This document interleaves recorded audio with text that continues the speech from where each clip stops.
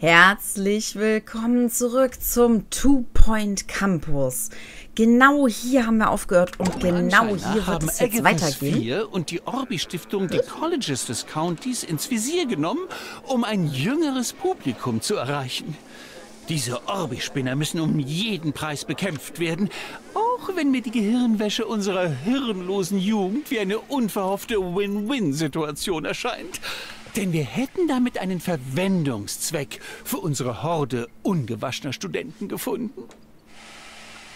Ja, das erinnert mich gerade an was. Müffelt, bist es wahrscheinlich du. Nein, einer der Studenten wäre richtig, aber egal. Aufgaben bieten Ihnen eine Möglichkeit, außerhalb des Hörsaals äh, Erfahrungspunkte zu sammeln. Es sieht aber danach aus, als bräuchten Sie neue Einrichtungen. Öffne deinen Posteingang und sieh, was sie benötigen. Also, unser Posteingang. Willkommen zu deinem Posteingang. Hier kannst du Anfragen von Studierenden, Katastrophenwarnungen und Besuchsankündigungen einsehen.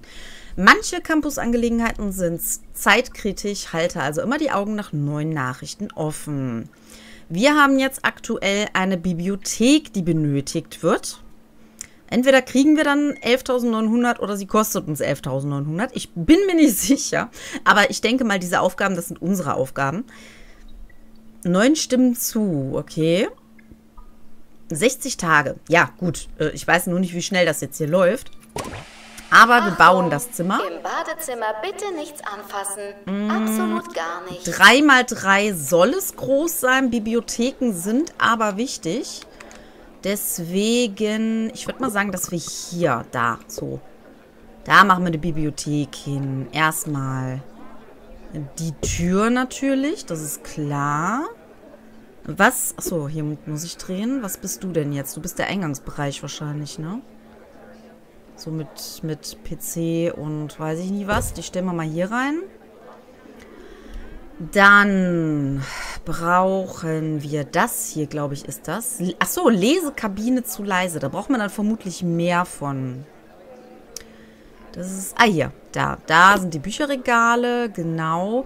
Die Frage ist, die müsste man ja eigentlich theoretisch so von zwei Seiten machen, ne? Dass man die irgendwie so, so. Entgegen ja, dann so ein bisschen frei ist der Campus keine öffentliche Toilette. So. Na, stell dich doch daneben. So, dann drehen, upsala, dann drehen wir das Ganze um. Ist ein bisschen blöd gemacht hier mit der Kollision.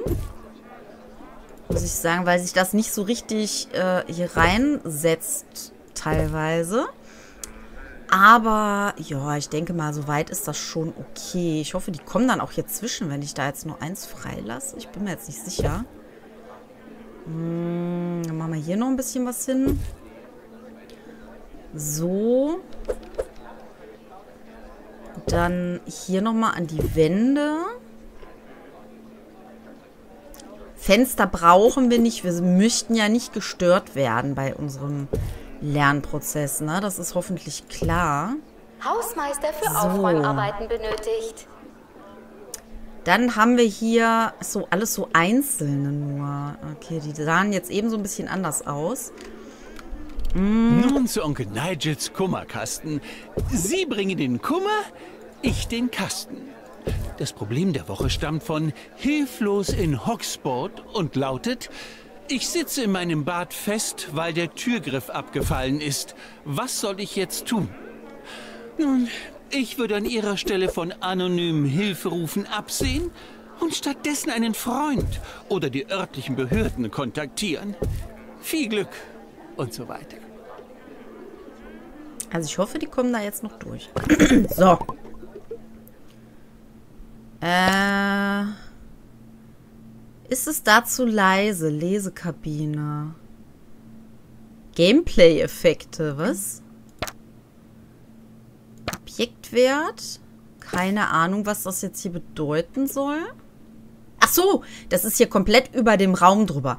Ah, okay. Okay, baue Bibliothek, das haben wir auf jeden Fall jetzt schon mal gemacht. Ich würde sagen, dass wir auch so ein bisschen ähm, Dekoration hier noch in die Nähe der Bibliothek reinbringen, weil die Leute müssen ja auch wissen, da ist eine Bibliothek.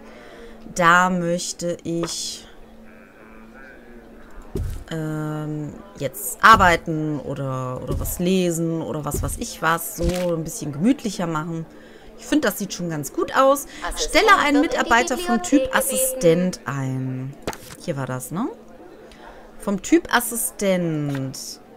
Ach, deswegen dieses Zeichen da drüber. Hm, okay. Äh, was ist mit dem? Komödiantisches Timing. Macht Menschen glücklich, unterhält sie.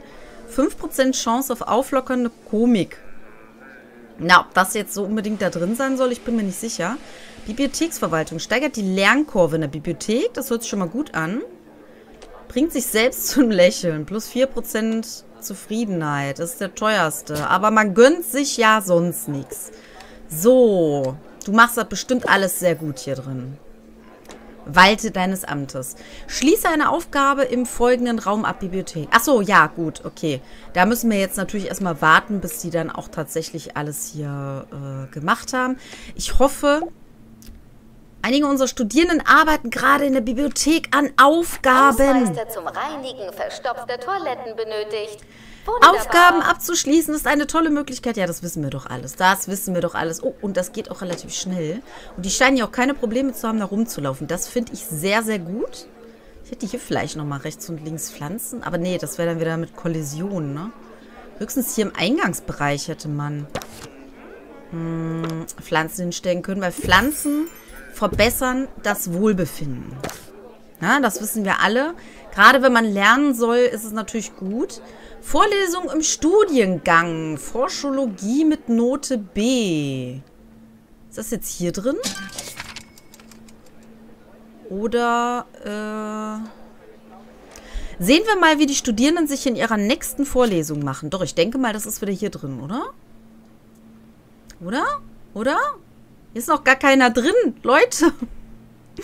Wo ist denn jetzt eure Vorlesung? Egal wie groß der Druck auch sein mag, das Urinieren auf Campus-Eigentum ist verboten. Kann man auch nicht draufklicken, damit man es genau sieht. Also hier ist auf jeden Fall keiner drin im, im Vorlesungsraum. Hier unten scheinen sie hoffentlich ein bisschen intelligenter zu werden. Naja, vielleicht auch nicht so wirklich. Clowny ist bei der Arbeit. Mal schauen, ob er es jetzt besser kann. Ähm, ja, hier ist jetzt keiner mehr. Da haben sie jetzt quasi schon studiert. Da sind sie sozusagen auch am Studieren eigentlich.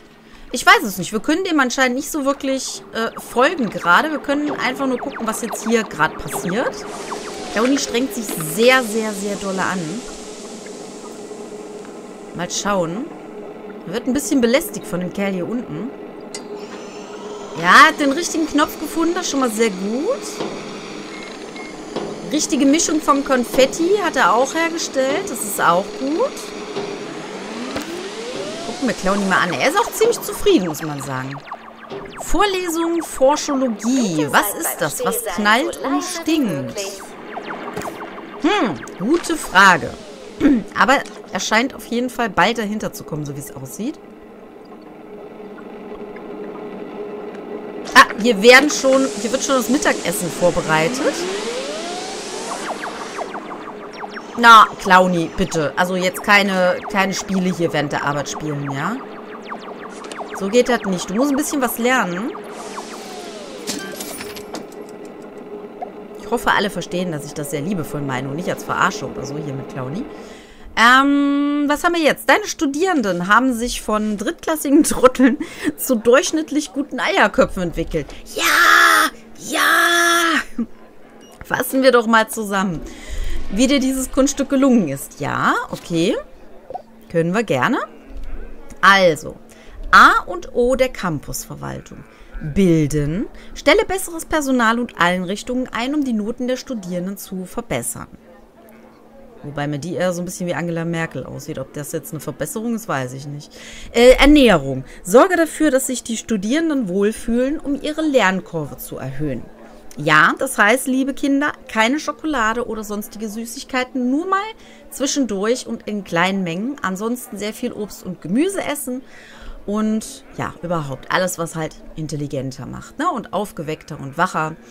Erweitern. Verdiene mehr Geld, indem du deinen Campus vergrößerst und mehr Studenten anlockst. Hausmeister zum Reinigen verstopfter Toiletten benötigt. Und natürlich Wunderbar. Hausmeister zum Reinigen von verstopften Toiletten einstellen. Glückwunsch, du hast für das Erreichen deiner Ziele etwas Kudosh verdient. Ich hoffe, dass das die Währung ist.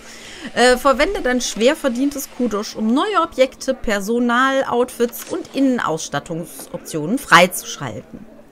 So, heißt jetzt was? Schalte ein Objekt mit Kudosh frei. Öffne das Objekte-Menü und wähle ein gesperrtes mit dem Kudosh-Symbol. Ach so, das ist dieses, ah, das ist dieses gelbe Symbol hier unten. Ah, okay. Dürfen wir aber nur hier machen, so wie es aussieht gerade. Und das sind die... Der Froschabfalleimer. Fütter mich. Quark. ja, könnte die Studenten erziehen. In eine positive Richtung. Ach du Scheiße. Warum erinnert mich das jetzt an den neuen Barbie-Film? Beides sieht genauso behämmert aus. Ähm, Egal wie groß der Druck auch sein mag, das Urinieren auf Campuseigentum ist verboten. also 230 haben wir. Was ist das hier denn? Clown-Kommode. Was ist denn jetzt los? Hallo?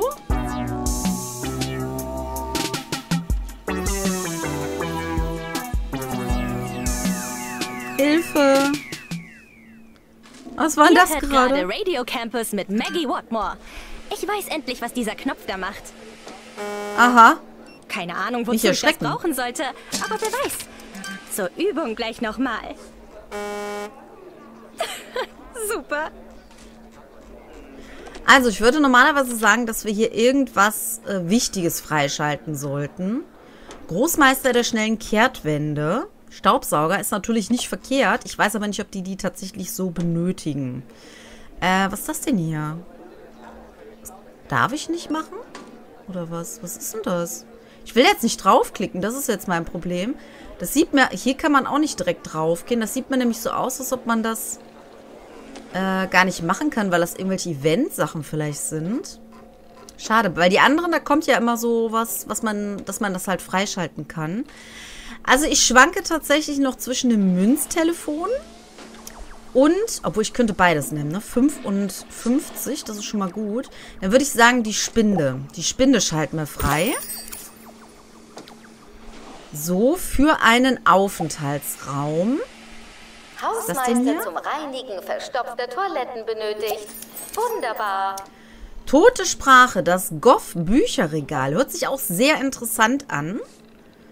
Clownstruhe, Unfug für jede Gelegenheit. Sowas muss natürlich ein jeder Student unbedingt zu Hause haben. Äh, wir nehmen jetzt erstmal die Münztelefone.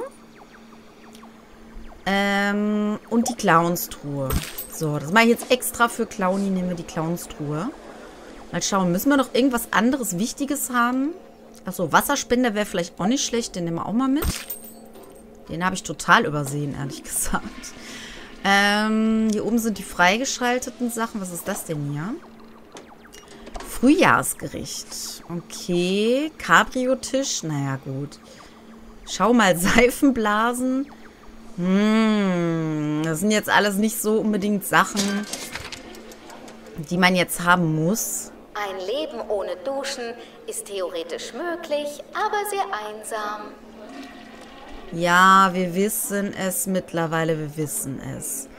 Die Rampenlampe. Ich kenne nur die Rampensau. Aber gut, die wird wahrscheinlich auch eine Rampenlampe dabei haben.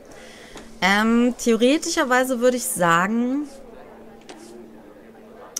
wir nehmen noch so ein Spielautomat, damit die sich zwischendurch mal so ein bisschen, ne, so ein bisschen ausruhen können und so. Und dann würde ich sagen, stellen wir auch noch so einen, so einen Tisch mit Essen noch rein. Sollte jetzt eigentlich erstmal genügen, würde ich sagen. Also das, das lassen wir erstmal. Ich habe Ähm. meine Brille verlegt und kann euch zum nächsten Beitrag daher nichts sagen. Wie mir berichtet wurde, ist das alles ziemlich ironisch. Hugh, du bist dran. Was haben die denn jetzt hier gerade gemacht? Verfüge über fünf Mitarbeiter. Ja. Ja, die Lage ist äußerst angespannt hier in der Mensa des Duckworth Campus, wo eine der Küchenaushilfen eine Kontaktlinse verloren hat. Offenbar ist die Linse höchstwahrscheinlich bei der Zubereitung einer besonders großen Lasagne verlustig gegangen. Aktuell werden alle Studierenden aufgefordert, vor dem Zubeißen einen genauen Blick auf ihre Portion zu werfen. Bis jetzt ist die Kontaktlinse allerdings noch nirgendwo zu sehen.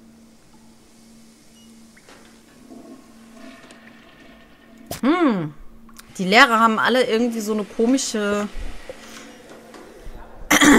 Das ist so eine komische Haltung. Ich weiß auch nicht. Ähm, der sieht eigentlich ganz gut aus. Schwache Blase, ekelhaft, schlechte Körperhygiene. Der sieht vielleicht doch nicht mehr ganz so gut aus.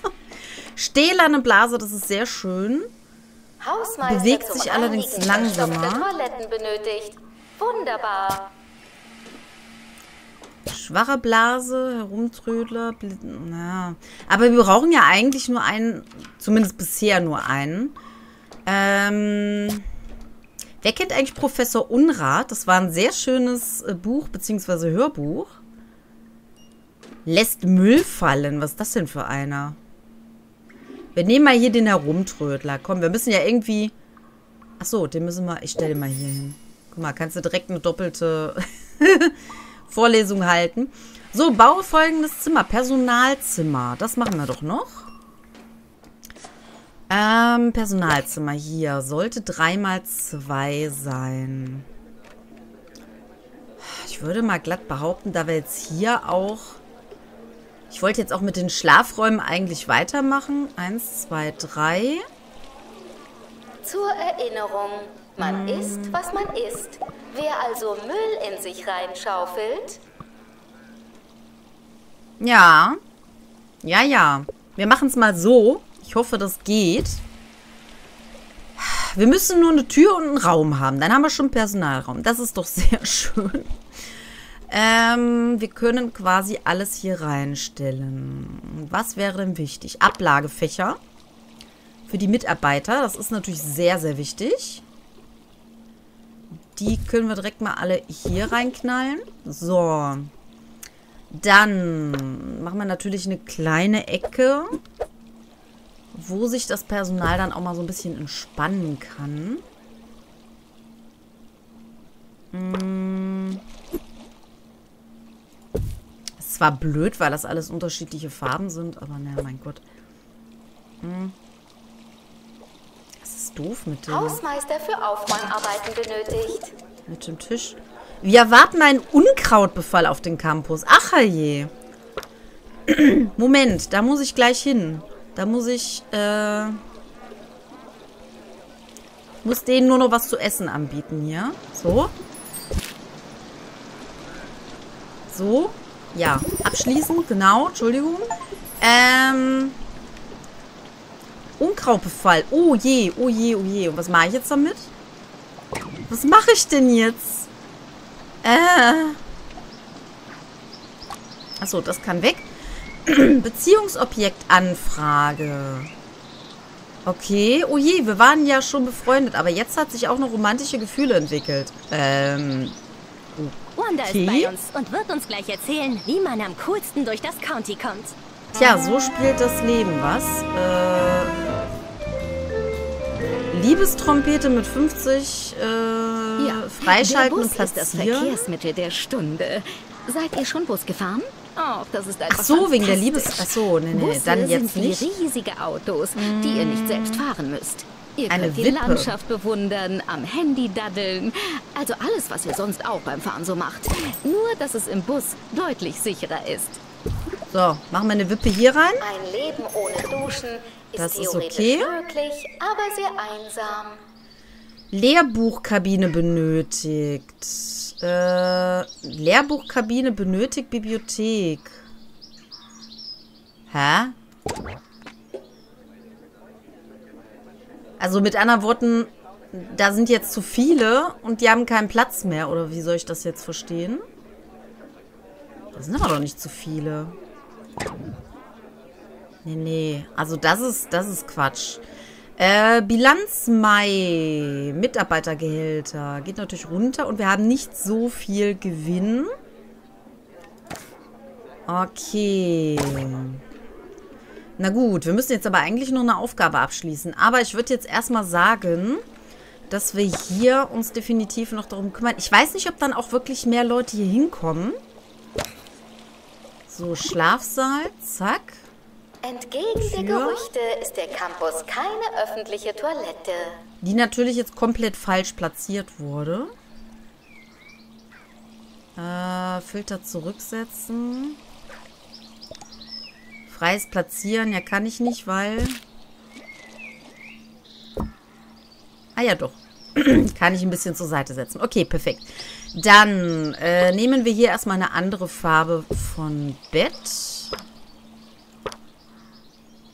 So, dann stellen wir noch einen Schreibtisch daneben und einen Schrank. Zack. Und zack. Bin mir gerade nicht sicher, wie das jetzt ist, ob die jetzt eigentlich auch was kosten. Ja, doch, Miete pro Jahr 4000. Ach, du Schande. Oje, oje, oje. Ich hoffe doch mal. Monatlicher Gewinn. Assistent in Ist die erhöht. Bibliothek, bitte. Danke. Schließe zwei Aufgaben ab. Ja, das Problem ist, ich will diese komische Liebestrompete da nicht holen. So einen komischen Quatsch braucht doch keiner. Ist das für drin oder für draußen? Man kann es draußen auch hinstellen. Ähm... Stell mir die einfach hier hin. So. So. Zack. In der Hoffnung, dass die da nicht kaputt geht. Oh mein Gott. Ach nee, ich dachte schon, der erste kommt direkt angerannt. So, ah, eine Liebestrompete. Ich puste da jetzt rein und finde meine Traumfrau. Ähm, wobei hier irgendwie, bis auf dieses komische Etwas hier, äh, scheinbar nur Männer rumlaufen. Ähm, gibt's hier echt keine Frauen auf dem Campus? Ist ja kein Wunder, wenn die Kerle schwul werden, ne? Was ist mit dem hier? Achso, der, ich dachte, dem geht's nicht gut. Ähm, so. Ist das? Nein, unmöglich. Was? Jetzt neu so. von Cheesy Gubbins. Der Maxi Gubben. Direkt aus deinen Träumen in deinen Mund. La la la la la. Der packt die einfach ein. Vielleicht will der da noch irgendwas machen, ich Ein weiß es Leben nicht. ohne Duschen Clowny! ist theoretisch möglich, aber sehr einsam. Ich glaube, Clowny mochte ihn nicht so. Ich weiß es nicht. Vielleicht drückt er doch noch in die Trompete rein. Was ist das denn hier schon wieder? Ah, schließe zwei Aufgaben ab. Sehr schön. Ich weiß nicht, warum es jetzt erst abgeschlossen war. Ich habe ja hier die beiden Aufgaben schon stehen.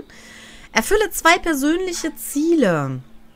Achte auf E-Mails von Studierenden mit Anfragen in Bezug auf persönliche Ziele. Oder wähle Studierenden, ach der Arme, der muss jetzt hier allein. ähm, oder wähle Studierende an, um ihre Ziele einzusehen. Platzierende. Äh, nicht alles auf einmal hier. Glückwunsch, du hast das Studienjahr gemeistert. Sehen wir uns jetzt die Jahresendbelohnung an, um herauszufinden, wie wir uns geschlagen haben. Gut, nehmen wir das dazwischen.